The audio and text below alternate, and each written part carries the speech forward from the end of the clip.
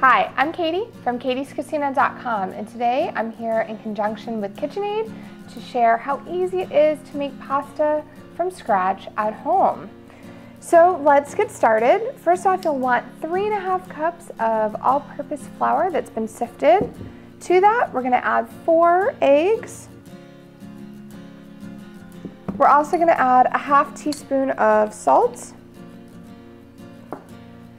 and we'll want to add about one to two tablespoons of water to start off with. In all, I found that a quarter cup of, of water works best. It just depends on where you're located and your humidity factor. So we're gonna go ahead and use my handy dandy um, KitchenAid Classic Plus. So we're gonna set our kitchen timer to 30 seconds. We're gonna hit start and we're gonna mix this with the flat paddle attachment for 30 seconds on speed two. It's done. So we'll turn this off. You'll notice it's kind of pretty sticky. That's okay. It's gonna have to now mix with a hook attachment, the dough attachment. So we'll remove that off. Since this has egg in it, definitely wanna wash our hands. Okay, now we're gonna add our dough hook attachment.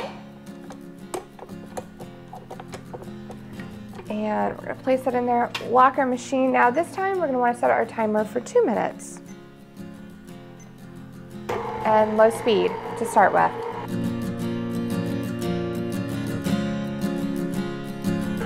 All right, our dough's ready. Turn off our timer. Scoot this to the side. And you'll notice it's all one piece. It has a little stickiness to it, that's okay. Rub it with a little flour. And now we're gonna wanna knead it for a good minute or two. And you're gonna want kind of, it's gonna kind of be of a leathery texture. And if it's a little sticky, it's okay, just add the flour to. And I'm just gonna form it into a ball. And I'm gonna place a little plastic wrap over it and let it rest. And you'll definitely wanna make sure this is sealed because you don't want your dough, your dough to get all crusty and just let it rest for 20 minutes. So we'll set the timer and go from there. All right, well, our pasta is ready. So we'll just put our timer to the side.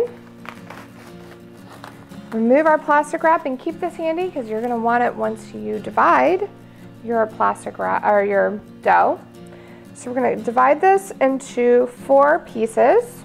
Okay, we're gonna grab our flat pasta attachment tighten that in there, make sure that the stand is locked. And we have our dough at about half inch. We're gonna sprinkle a little flour in the actual dough roller so that no dough gets stuck in there.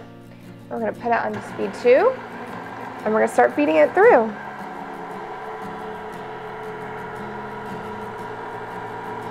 You wanna make sure that the dough is, we're, we're trying to get it to be the width of the attachment so after your first time, you're gonna fold it in half, press it down, and because this is kind of a little wide now, um, I'm gonna actually fold it in half again.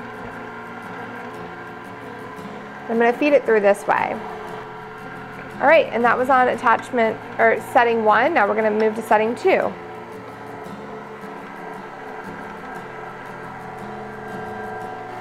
You'll notice this is gonna start to get really long. So I have an easy fix for that. We're gonna just cut it in half. So we'll leave this one to the side. We're gonna work on this one. We're gonna move it to setting three. Who knew making pasta at home is this easy? All right, I just moved it to setting four. And because we're making spaghetti today, um, we're, we wanna have it around setting four or five. I found that running it through both settings four and five work best. And look, it's still, it's long again. I just use my arm as a guide. And let's just run it through one more time on setting five. So you wanna make sure you lay it flat. I'm gonna take my other piece of dough. We're gonna go back to setting two.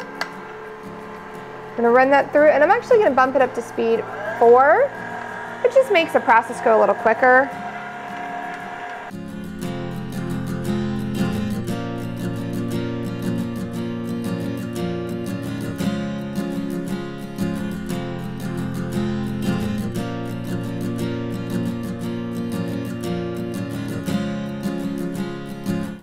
Right, now that we have our pasta rolled out flat, we're gonna go ahead and add the spaghetti attachment.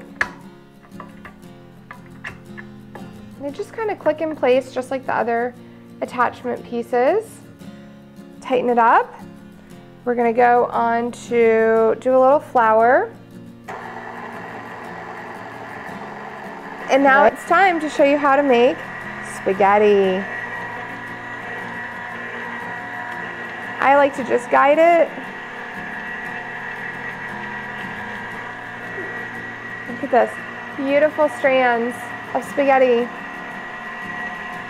And what I want to do is lay it in like an, a nest.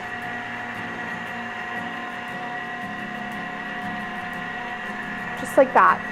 All right, now that we have um, made our spaghetti, we're just gonna go ahead and cook it for a few minutes. All right, so I have my beautiful nest of spaghetti. I'm gonna go ahead and cook them. I'm gonna add a little oil to my pasta to prevent them from sticking.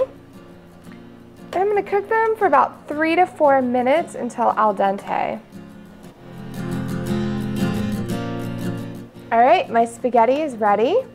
I'm just gonna go ahead and use tongs and a slotted spoon strainer to remove them. Anytime I'm making um, pasta and I'm making multiple batches, I don't wanna have to keep draining the water.